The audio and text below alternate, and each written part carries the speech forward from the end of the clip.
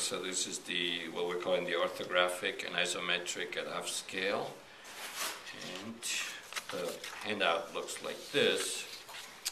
And once again, what we're trying to do is solve this puzzle, and this is an example of one that's already been solved. Uh, essentially drawing an isometric from the three views. Okay, that's the one you have to solve. So it's, um, it's not too bad.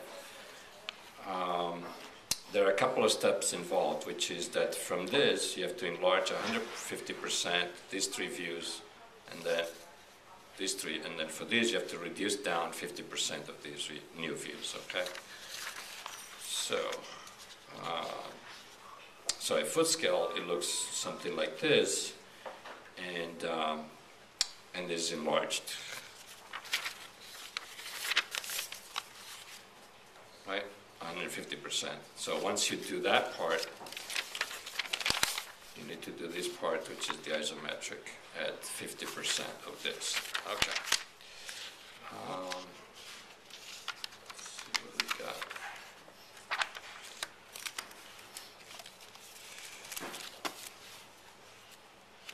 So uh, you definitely should use your t-square for this. I have my little t-square um, and triangles. And really, you just need mainly the, uh, uh, can you see it? The 3061. Okay. So,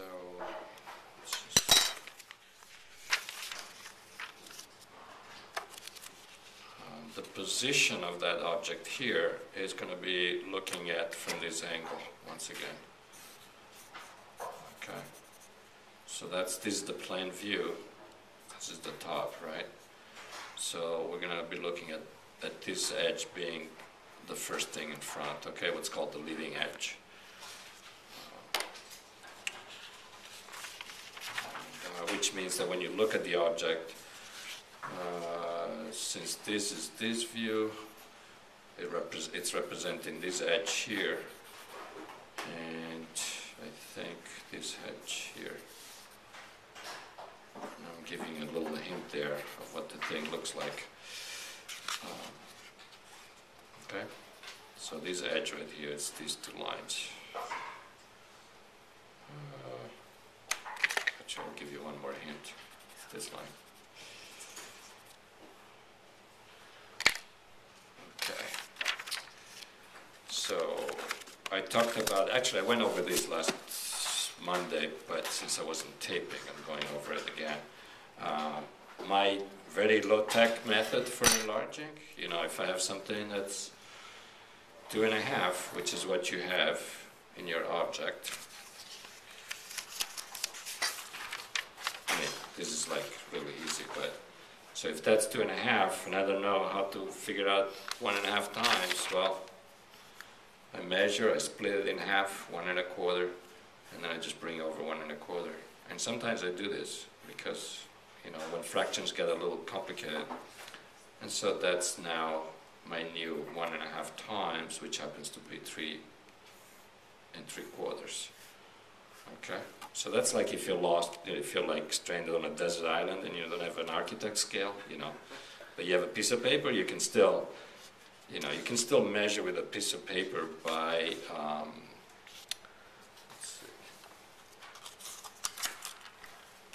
by doing this, right? If that's how long it is, I can always fold that. And I get my half. And then I just move the other half over here. And then I mark it. Okay?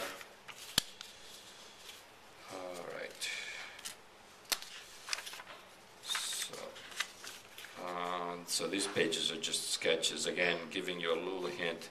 Um, one, one way to look at this is to try to imagine a glass box or a box in which, on the three faces of which you draw these things. Now, that's not going to work completely, but at least it's going to get you started. So what I was doing here, I was drawing this picture on this side, essentially. And then I could do the same with this side, and I could draw it here. But then you know, so you start seeing maybe some relationships. It, it might be useful, um, at some point, you're gonna have to carve in to find out what it really looks like. Okay. And this is,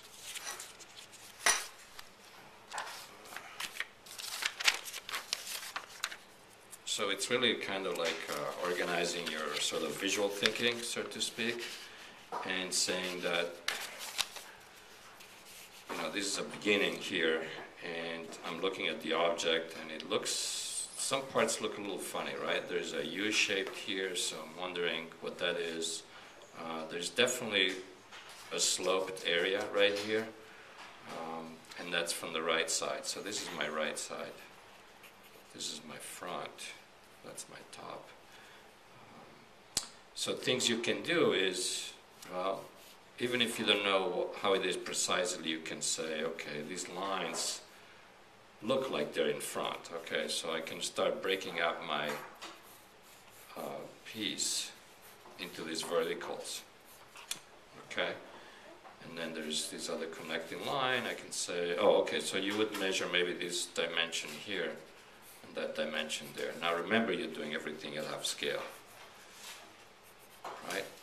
So once I have these two, then I can draw that line and I can, you know, I don't know yet how it's going to be exactly, but it's a line. And that angle in isometric you have, you have to find by, um, by measuring here and measuring there and then connecting the two. Okay? So.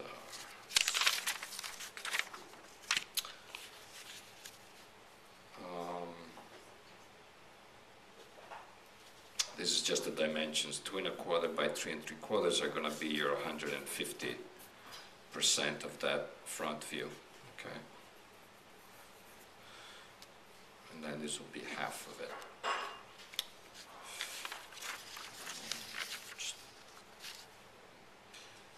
Once again, oh yeah, let's add the labels, uh, top view, front view, and right side view.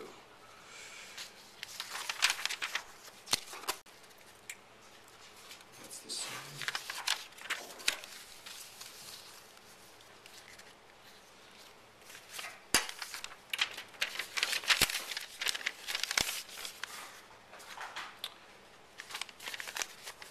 Let's- let's put it here. Um, Again, that's the top, that's the front, and that's the side. And here I was trying to trace uh, this shape here. Okay. Now this shape, again, if I just look at this, I'm not really sure how it is, but I could say, okay, I've got this line. You know, and so I could say, I could measure this. If I draw my box here, I can measure that and maybe I can find that spot, and then where, where would this be? Um, you have to measure it either this way, then maybe this way, and where they meet. Uh, so you measure there, you bring it over, measure this way, bring it over, and maybe it's there. Okay, maybe. I don't want to give you too many, otherwise I draw it for you, but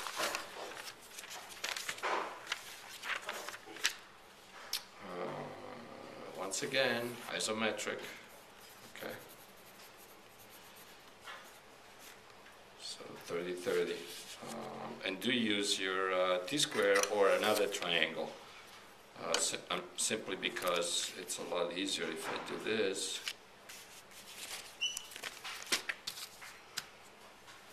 um, To then use my triangle like that.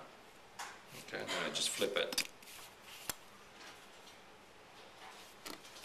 also allows me to do, well, I don't have any horizontals at all, really, uh, but I do have verticals, lots of them, so I can do those quickly uh, using the t-square as a guide.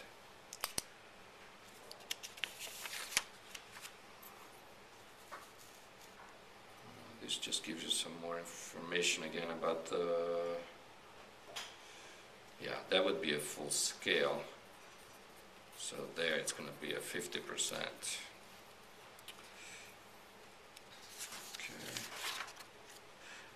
This is actually just some general tips.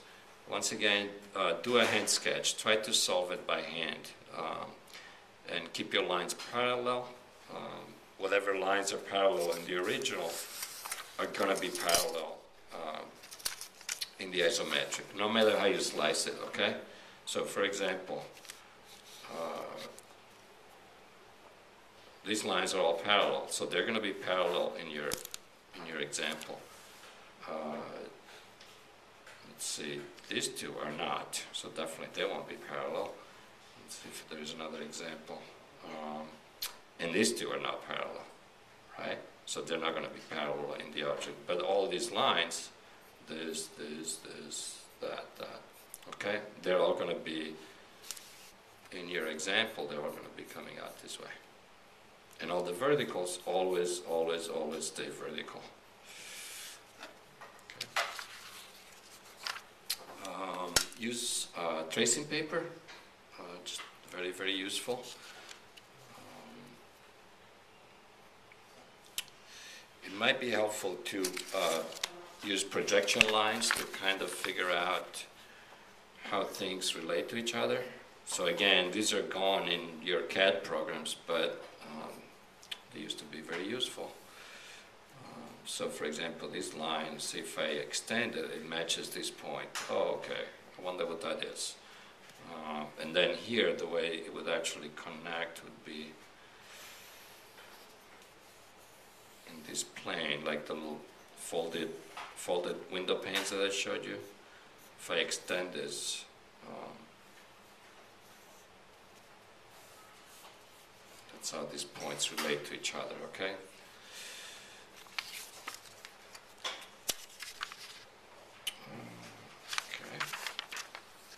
Oh, this is actually a little nifty uh, device to enlarge something. Again, if you're stranded on a desert island. Okay, it's just a method for enlarging um, a shape using sets of uh, um, parallel lines. So if I have um, this shape, which is our original, you're not, you're not going to really do this because it's, but, but again, if you wanted to do, you know, if it was a complicated shape, it could be useful. Uh, so the first thing that I do here is I know, let's say I just know one dimension, or rather I only measure one, so I make this one and a half times, right?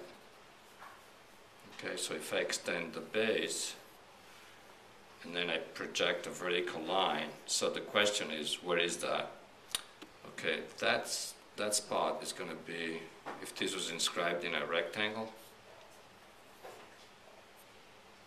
I just extend the diagonal of that rectangle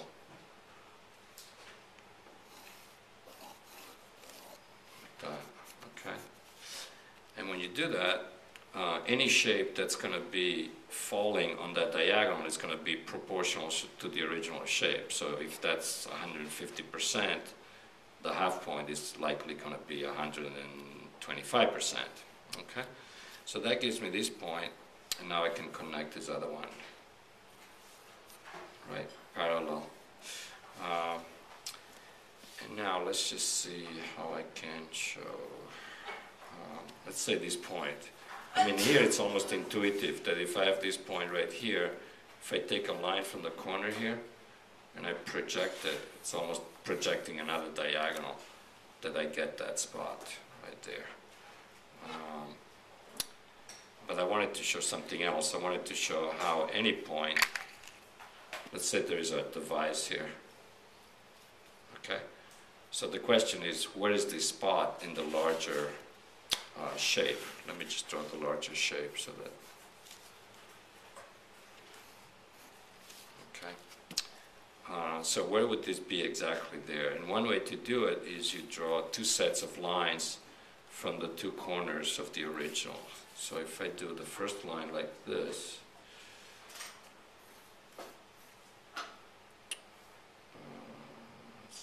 That's right. Yeah. And then from, oops, from this spot,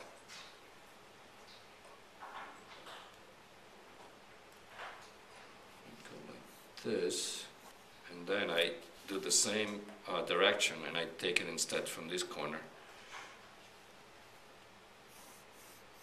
Okay, so essentially I've just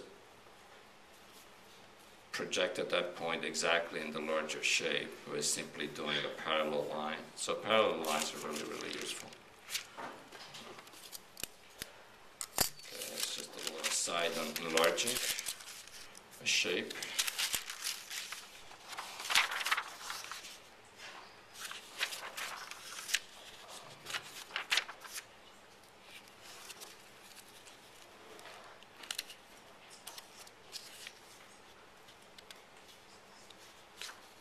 Uh, we went over scale. By the way, I did um, put up the little video on that um, little demo. And we talked about this also, which is that in some shapes, um, a surface area that may be shown in some of the views is actually uh, represented by a line in the other views, and vice versa.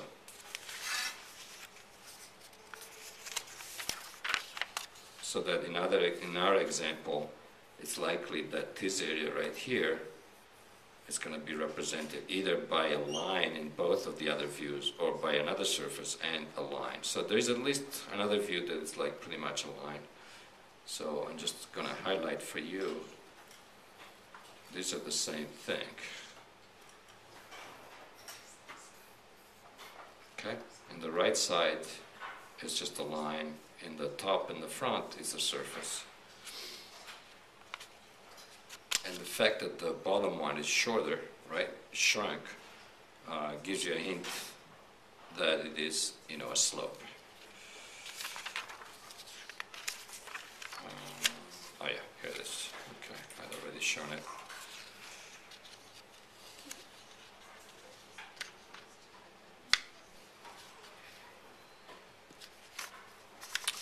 And the last image just shows a, just a layout of, where the, all, all the parts are going to fall, okay? So, um, so it pretty much gives you total dimensions at least. Uh, uh, actually, it doesn't quite. Uh, it, it tells you the spacing so that you can lay it out and they're going to be centered, okay? And then I just give you this spot right here, two and a quarter from the edge uh, and then align it here. So this is arbitrary where it is. It could really, doesn't have to be exactly there, but uh, just to do it nicely framed. Okay, so that's the orthographic and isometric at half scale.